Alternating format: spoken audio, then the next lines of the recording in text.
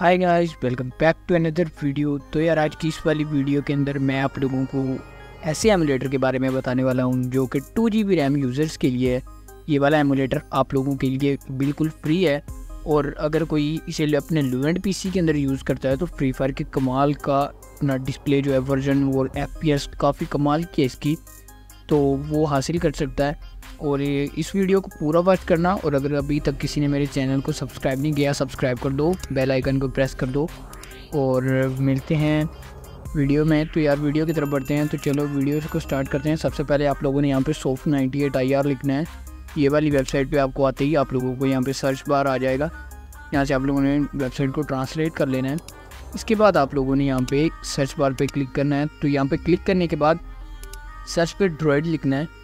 Droid यहाँ पे type करना है D R O I D droid ये ड्रॉइड फोर एक्स की एप्लीकेशन सामने एप्लीकेशन आ जाएगी तो इसको यहाँ से डाउनलोड कर लेना है।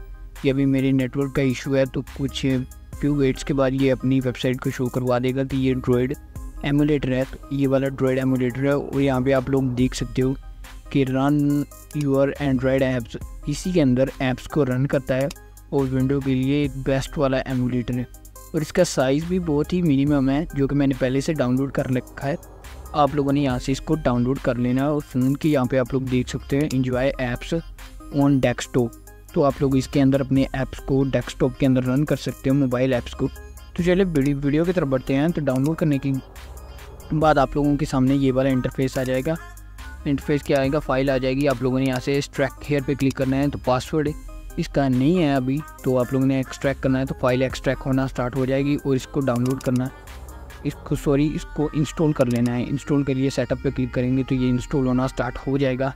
इंस्टॉलेशन कर लेनी है आप लोगों ने और इसकी लो एंड पीसी की सेटिंग्स में आप लोगों को बता दे मैं आप लोगों को ये बता दूँ कि इस वाले एमुलेटर की जो लैंग्वेज है, वो चेंज है। आप लोगों के यहाँ पे कुछ बटन दिखेंगे तो इस पर आप लोगों ने बैक करना है और यहाँ पे आप लोग देख सकते हैं कि इंस्टॉलेशन स्टार्ट हो चुकी है तो मैं यहाँ पे नेक्स्ट पे क्लिक करता हूँ। एक्सेप्ट एंड टर्म्स पे नेक्स्ट और नेक्स्ट पे क्लिक करने के बाद ये एक्सट्रैक हो जाएगा, जहाँ पे इसने डाउनलोड होना और सॉरी इंस्टॉल होना स्टार्ट हो जाएगा। तो ये इंस्टॉल जब हो जाएगा तो आप लोग ये देख सकते हो कि ये बहुत ही ज़्यादा लाइट है, इसलिए इतनी फास्ट इंस्टॉल हो रहा है। आप लोगों ने देखा होगा कि अपने अगर अपने लो एंड पी के अंदर यूज़ टैक्स का वर्जन बढ़ा होगा तो काफ़ी देर लग चुकी होगी आप लोगों को, काफ़ी टाइम ज़्यादा हुआ होगा। और आपका पीसी भी बहुत ज़्यादा रनिंग में होगा तो इस वजह से वो चला भी नहीं होगा तो यहाँ पे फिनिश और रन पे आप लोगों ने क्लिक करना है।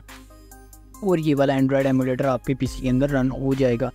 तो ये रनिंग अभी स्टार्ट हो चुकी है तो अगर आप लोग इस वाले एमुलेटर के लिए वर्चुअलाइजेशन टेक्नोलॉजी इनेबल कर लेनी है आप लोगों ने, और जब वर्चुअलाइजेशन टेक्नोलॉजी होगी तो आप लोगों के चलेगा अदरवाइज़ नहीं चलेगा, आप लोगों ने यूट्यूब से कोई भी वीडियो को उठा के देख लेना है। जो कि वर्चुअलाइजेशन एनेबल करने की वीडियो हो तो आप लोगों ने उस वाली वीडियो को मस्त वॉच कर लेना है। और वहाँ पे वो बता देंगे कि आप लोगों ने किस तरह से अपने पीसी के अंदर वर्चुअलाइजेशन टेक्नोलॉजी एनेबल करनी है। तो ये एमुलेटर स्टार्ट हो रहा है तो मैं पीसी को कुछ फ्रेश मोड में छोड़ा हुआ है, ताकि ये एक बार रन हो जाए तो मैं इसकी लो एंड पी की सेटिंग्स जो इस वीडियो में मैंशन कर सकूँ। मैं सेटिंग्स पे क्लिक करता हूँ तो अभी ये बूटिंग में है। मैं ओके पे क्लिक कर देता हूँ, क्योंकि ये अभी बूटिंग में है तो अभी ये रनिंग कर रहा है। जब ये रन हो जाएगा तो आप लोगों को ये कुछ इसके टूल्स आगे सॉरी ऑन पे क्लिक करना है तो ये उन पे चले जाएगा तो आप लोगों ने सब सिस्टम फोल्डर ये इसका डेस्कटॉप है। रिकमेंडेड जो भी ऐप्स हैं, इसके अंदर वो शो होते हैं। अभी मेरे पीसी के अंदर ये अभी बूटिंग इसकी स्टार्ट नहीं क्योंकि मैंने अभी इसे स्टार्ट किया ही नहीं है, और मैं उन पर क्लिक करता हूँ दोबारा से तो ये ये पीछे आ चुका है। हाँ तो आप लोगों को यहाँ पे सेंटेक्स सिस्टम पे क्लिक करना है और यहाँ पे आप लोगों को सेटिंग्स पे क्लिक कर देना इसकी सेटिंग्स ऑन होती है। कुछ वेट करने के बाद, क्योंकि पीसी जो है, अभी अभी से बूट की है और मैं सुबह से पीसी को चला रहा हूँ, जिस वजह से ये काफ़ी स्लो हो चुका है। और आप लोगों को पता है इंटरनेट पर काफ़ी ज़्यादा वायरसेस आते रहते हैं, जिसकी वजह से पीसी स्लो होता है। तो ये भी काम ही नहीं कर रहा है, नहीं तो आप लोगों को लैंग्वेज चेंज करवा देता। तो ये वाला एमुलेटर काफ़ी ज़्यादा फास्ट वाला एमुलेटर मैंने पहले ही चेक किया था। लेकिन अभी ये रनिंग नहीं है। तो चलिए यहाँ से आप लोगों को बता देता हूँ कि इसकी लैंग्वेज कैसे सेट करनी है। तो आप लोगों ने यहाँ से लोवेंट पीसी की सेटिंग्स करनी है। तो यहाँ से आप लोगों ने अपने पीसी के एक कोर को सिलेक्ट कर लेना है और यहाँ पे आप लोगों ने 1000 रैम को कर लेना